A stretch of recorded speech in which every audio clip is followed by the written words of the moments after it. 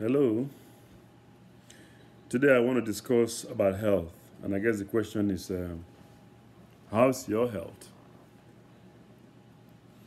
Now, when people think about health, they mostly generally think about physical health, but I really want to talk about five areas of uh, health. We'll talk about your psychological health, your physical health, your emotional health, your financial health, and of course, uh, your spiritual health.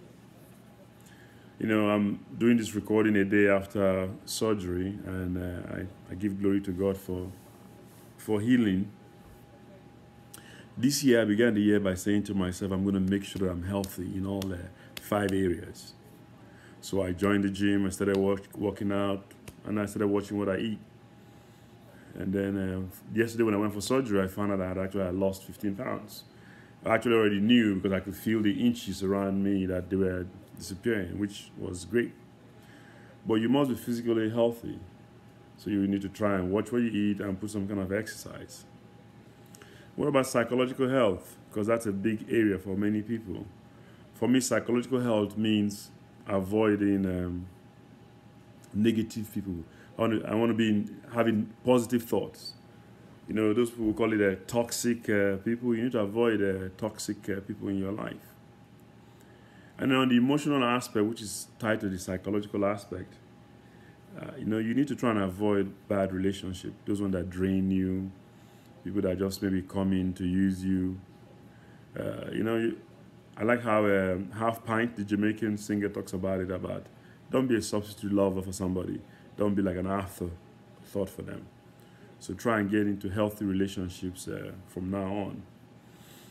And then we talk about financial health you know, I started looking at how much money I made, my investments, because it's really not an issue about how much money you make, but how much you keep.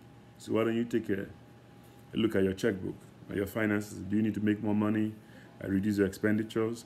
You must also be financially healthy, because that causes a lot of stress for people. But the fifth and the major part is your spiritual health. I love how Jesus says this to the disciples both in uh, Mark uh, Luke and Matthew about uh, what does it profit a man if he gain the whole world and uh, loses his own soul. And even Apostle Paul says in 1 Timothy 4 8 that spiritual exercise profits uh, little. It doesn't say it doesn't, he's not saying it's not good, but he's talking about that it's more spiritual exercise is more important. And in 3 John 2, where he talks about, Beloved, I hope that you prosper and be in good health as your soul prospers. Some people only claim the financial prosperity aspect. But God is really more interested in your spiritual uh, prosperity. So I always say, what, what's the good of being a bodybuilder as opposed to being a soul or a spirit builder? So be a spirit builder. And the question is, when, when did you go, when was the last time you had a checkup? For me, this year, I went through the whole thing. I know once you're over 50, you do uh, colonoscopy, prostate exam. I did the whole works you know, HIV AIDS test, blood count, uh, do every single test you need to do so you can have an understanding about your uh, physical uh, well-being. I even had to do an EKG and thank God for a clean bill of health. So whatever we're doing this year, make sure we are healthy all around. Amen?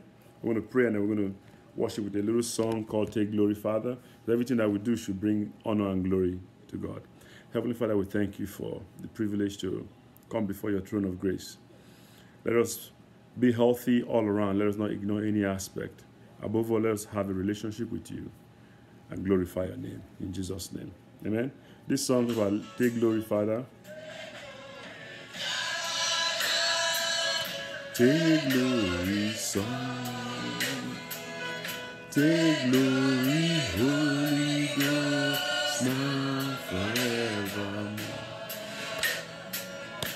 Take glory, Father. Take glory, Son. Take glory, Holy Ghost, now forever. So please go get a checkup, oral checkup, see your dentist, and get a spiritual checkup. Have a blessed week.